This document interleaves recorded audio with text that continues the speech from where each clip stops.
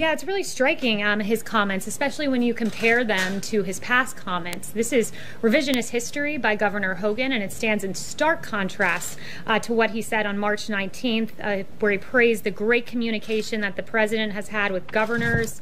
On March 19th, he also said, Thank you. There's been tremendous cooperation. And what is so striking to me about reading that op ed is Governor Hogan begins with this dramatic April 18th scene where South Korea uh, delivered tests. Um, but just the day prior, he said something entirely different. He, in fact, thanked the president for the progress we've seen in federal and state coordination in recent weeks and went on to praise testing capabilities, he said, with regard to some of the top needs of states, including ventilators and testing capabilities. So 24 hours before uh, this dramatic opening scene of his op ed, he literally was praising the president of the United States for delivering on testing.